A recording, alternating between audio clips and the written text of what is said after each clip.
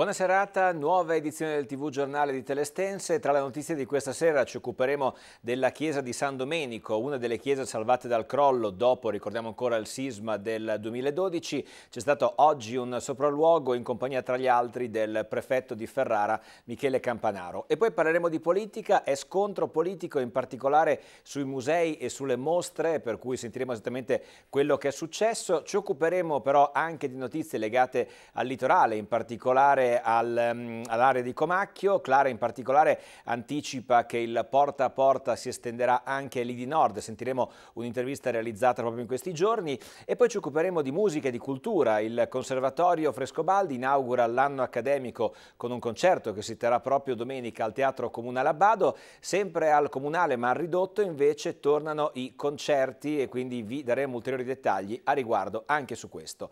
Apriamo subito però dalla cronaca più che altro legata al meteo perché potrebbe nevicare domani in ampie zone dell'Emilia Romagna, compresa anche la provincia di Ferrara. ARPA e Protezione Civile hanno infatti diffuso un'allerta di colore giallo, la più lieve, lo ricordiamo, per domani, giovedì 12 dicembre, quando è previsto il transito di una perturbazione di origine atlantica con precipitazioni deboli moderate già dalle prime ore della notte. Si prevede neve su tutto il territorio, ad esclusione della fascia costiera, dove i fenomeni saranno di pioggia mista a neve. I quantitativi previsti sono intorno ai 5 cm nelle zone di pianura, ma potrebbero essere fino a 15 nelle zone collinari.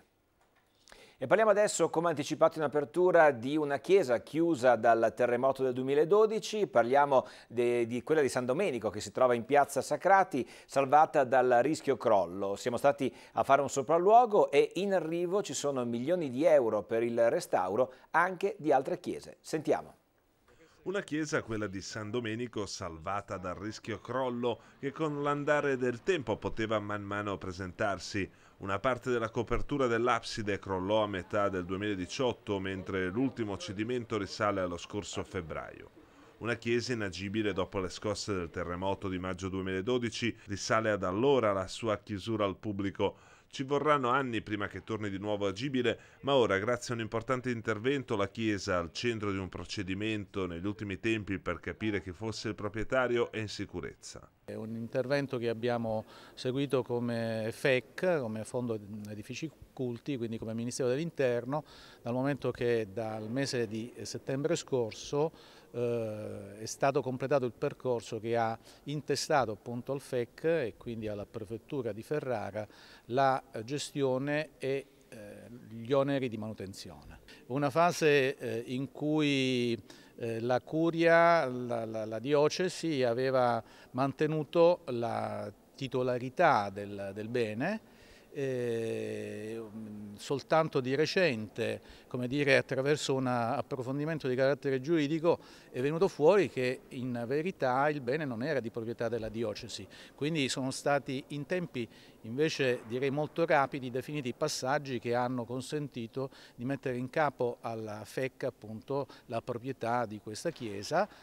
Una messa in sicurezza costata 273.000 euro, ora manca la fase del cantiere più corposa e i primi lavori dopo la messa in sicurezza potrebbero vedersi nel 2021.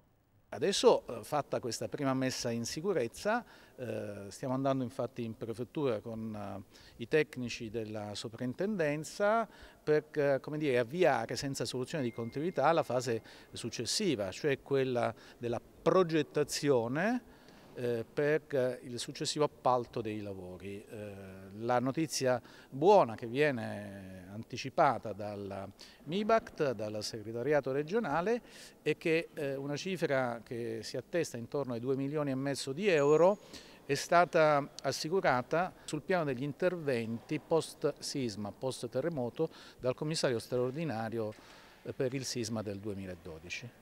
Le chiese di Ferrara sono tra gli edifici maggiormente danneggiati in città dal sisma del 2012 e anche tra i più delicati, come la chiesa di San Giorgio fuori le mura, sul quale sono previsti 5 milioni di euro per il restauro e il miglioramento sismico, i cui lavori dovrebbero iniziare in primavera. Per quanto riguarda la chiesa di San Paolo, invece, sono previsti per inizio 2012 i lavori da 3,85 milioni di euro previsti per il recupero completo del Tempio. E adesso passiamo alla politica parlando in particolare di cultura e musei che diventano ancora una volta dibattito a Ferrara. Il PD ha realizzato due interrogazioni consigliari, una su Palazzo Diamanti e l'altra sul vicino museo della Resistenza e Risorgimento. Sentiamo. Una visita notturna alla mostra di Palazzo Diamanti, Denitis e la rivoluzione dello sguardo al centro dell'interrogazione scritta e firmata da Ilaria Baraldi, consigliere comunale d'opposizione del Partito Democratico. Secondo Baraldi, l'assessore comunale alla cultura Marco Gulinelli e il presidente di Ferrara Arte Vittorio Sgarbi, più una terza persona non identificata, la notte precedente all'inaugurazione della mostra si sarebbero recati a Palazzo Diamanti per una visita notturna attorno all'1.30. La consigliera così interpella ufficialmente il sindaco di Ferrara, Alan Fabri, chiedendo un controllo sull'accaduto, se sia stata fatta una valutazione di sicurezza prima di questo accesso e se, continua Baraldi, si intenda utilizzare i beni monumentali di Ferrara come delizie per il tempo libero di chi per ruolo vi ha accesso privilegiato. Anche il futuro del Museo del Risorgimento e della Resistenza è al centro di un'altra interpellanza, sempre a firma di Ilaria Baraldi, consigliere comunale d'opposizione del Partito Democratico. Nella primavera del 2020 dovrebbero iniziare i lavori di ristrutturazione di Palazzo Diamanti che comporterebbero il trasferimento del Museo della Resistenza e del Risorgimento, scrive la consigliera, che interpella il sindaco e gli assessori competenti al fine di conoscere quale sia il progetto per il futuro del museo a fianco del Palazzo Diamanti. E adesso passiamo alla cronaca. Coltivava piante di cannabis in casa, una residenza dove abita da solo e dove aveva tutta l'attrezzatura necessaria, una serra idroponica, termo, lampade e ventilatori. A finire nei guai un 22enne dell'Ido di Volano arrestato dai carabinieri di Comacchio e poi rimesso in libertà. La perquisizione domiciliare è scattata ieri sera dopo che il giovane era stato fermato per un controllo antidroga. Intanto parliamo anche di sensibilizzazione dei giovani sul consumo di droghe e prevenire il consumo di sostanze tossiche. Questo è lo spettacolo teatrale Stupefatto, prodotto e realizzato dalla compagnia teatrale itineraria di Cologno Monzese, in scena martedì prossimo, 17 dicembre, in sala estense. L'assessorato alla pubblica istruzione, in collaborazione con l'assessorato alla sicurezza del Comune di Ferrara, promuove questa iniziativa che si inserisce all'interno del progetto Scuole Sicure, attualmente avviato con l'installazione l'installazione di telecamere di sorveglianza davanti a cinque istituti scolastici del territorio comunale, il Copernico Carpeggiani, la Bonati, De Pisis, Bachelet e Carducci. Adesso invece andiamo verso il mare perché anche i lidi Chiesi Nord, quali nazioni Pompose e Scacchi, potrebbero essere presto interessati dalla raccolta porta a porta dei rifiuti da parte di Clara. Porto Garibaldi ha rappresentato un test importante quest'anno per un territorio che include residenti ma anche seconde case e turisti. Sentiamo. La raccolta porta a porta dei rifiuti, che nel 2019 è stata estesa a Porto Garibaldi, potrebbe interessare anche i Lidi Nord nel 2020.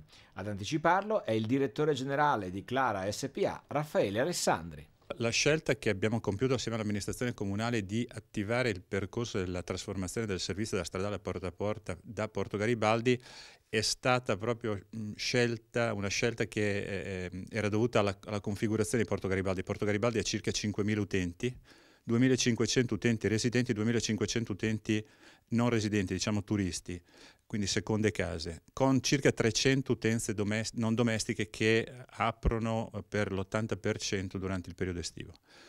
E questo è stato il, il progetto sperimentale che ci, ci, ha consentito durante il 2019 di avere i primi dati su un problema che è quello di affrontare la raccolta porta a porta, quindi un servizio che viene calibrato su uh, appuntamento, con, i, uh, con, la presenza di turisti che naturalmente sviluppano la loro presenza sul territorio del, dei lidi comacchiesi prevalentemente nel fine settimana e prevalentemente nel periodo agostano. Eh, abbiamo avuto delle buone risposte, specialmente dalle utenze non domestiche, abbiamo trovato alcune soluzioni, eh, secondo noi, ehm, che possono mettere d'accordo la necessità di avere una qualità del rifiuto conferito con una flessibilità da parte dell'utente di poter gestire questo tipo di servizio, specialmente in un territorio turistico come quello di Porto Garibaldi. Abbiamo affrontato alcune difficoltà, alcune criticità che ci, anche, ci hanno dato anche risposte su alcuni elementi che eh, stimavamo potevano essere particolarmente delicati. Il progetto secondo me ha dato dei buonissimi risultati, ipotizziamo di poterlo ampliare eh, a partire probabilmente già dal 2020 sui lidi nord, quindi scacchi pomposa nazioni, visto che Volano è già stato interessato a un servizio di raccolta porta a porta e poi per poterlo estendere nella zona più complicata, lì sì veramente molto complicata dal punto di vista di logistica, che è quella dei lidi sud, Lido degli Estensi e Spina. E vi ricordo che di questo ed altro si parlerà nelle prossime puntate di Progetto Comacchio. Ricordo che l'appuntamento è in onda tra le altre tutti i venerdì sera alle 20 su Telestense. Parliamo adesso invece di musica perché prende il via l'anno accademico 2019-2020 del Conservatorio Frescobaldi di Ferrara e l'iniziativa sarà celebrata in particolare domenica 15 dicembre al Teatro Comunale Abbado. Sentiamo come. Domenica 15 dicembre alle 16.30 al Teatro Comunale Abbado si terrà il concerto di inaugurazione dell'anno accademico 2019-2020 che vedrà impegnata l'orchestra del Conservatorio Frescobaldi di Ferrara sotto la direzione di Marco Titotto, docente di esercitazioni orchestrali. Il concerto è dedicato a Ludwig van Beethoven e anticipa le iniziative che si terranno nel 2020 per i 250 anni dalla nascita del compositore viennese. È inoltre il primo evento della importante ricorrenza concorrenza dell'Istituto Frescobaldi fondato nel 1870 e che quindi a breve raggiungerà il traguardo dei 150 anni.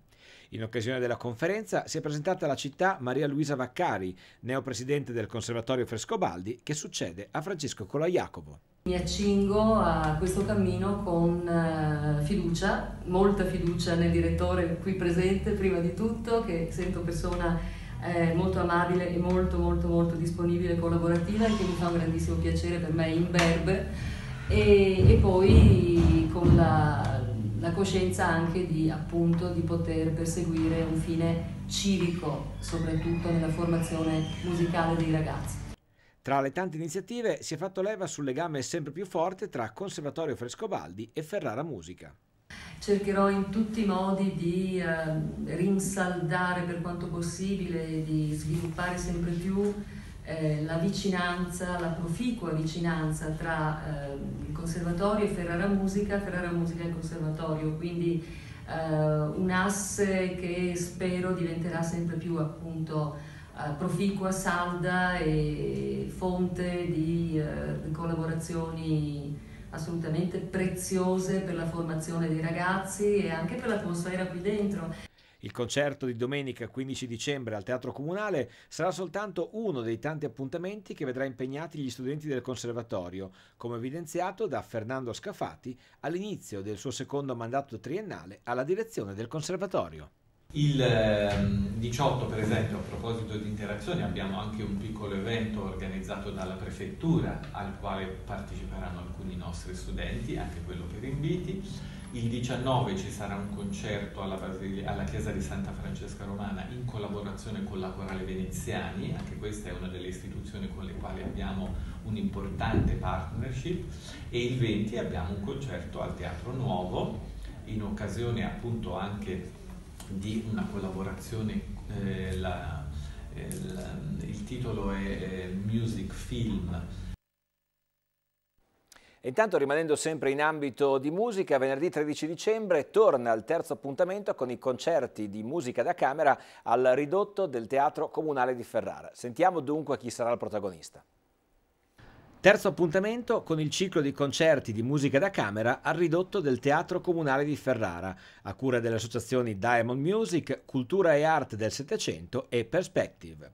Dopo l'esordio del 15 ottobre con il soprano Mirella Golinelli ed il chitarrista Riccardo Farolfi e dopo l'appuntamento di mercoledì 27 novembre con il duo Sandro Gori all'oboe e Michele Lai al pianoforte con musiche di Bartok, Debussy, Chopin, Donizetti, Grieg e Ponchielli, l'apprezzato appuntamento torna venerdì 13 dicembre alle ore 21.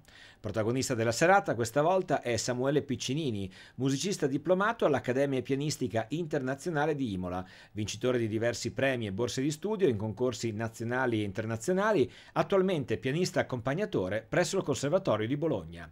Si esibirà proponendo sonate di Beethoven, Schumann e Prokofiev. Il biglietto sarà acquistabile presso la biglietteria del Teatro Comunale Claudio Abbado dalle ore 15 del giorno stesso. La direzione artistica della manifestazione è affidata al maestro Riccardo Farolfi, presidente di Diamond Music, e dal soprano Mirella Golinelli.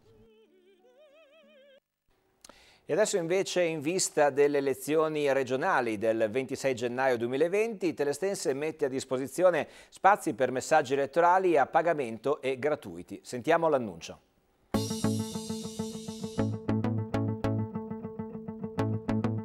Questa emittente intende offrire ai soggetti politici interessati l'opportunità di diffondere propri messaggi autogestiti gratuiti in occasione delle prossime elezioni del Presidente della Giunta regionale e del Consiglio regionale dell'Emilia-Romagna, elezioni indette per il giorno 26 gennaio 2020. Tale programmazione sarà effettuata in appositi contenitori di messaggi elettorali nei limiti e con le modalità previste dall'autorità garante e dalle leggi vigenti. Saranno accettati solo filmati da 1 a 3 minuti in standard tecnici digitali compatibili con la nostra tecnologia di diffusione. L'inoltro dei messaggi politici gratuiti potrà essere effettuato, previa autorizzazione del Corecom dell'Emilia Romagna, presso la sede dell'emittente in 44 124 Ferrara, via Virginia Woolf 17, al massimo fino alle ore 12 di mercoledì 22 gennaio 2020, L'effettiva programmazione avrà corso entro al massimo 48 ore dalla consegna dei filmati per avere termine al massimo alle ore 24 di venerdì 24 gennaio 2020. La rotazione dei messaggi e l'ordine di messa in onda saranno basati sul sorteggio effettuato dal Corecom. Si informano pertanto i soggetti politici interessati che presso la sede dell'emittente in 44 124 Ferrara, telefono 0532 9089, fax 0532 61868, è disponibile il relativo regolamento. Il responsabile del servizio è la dottoressa Dalia Bighinati.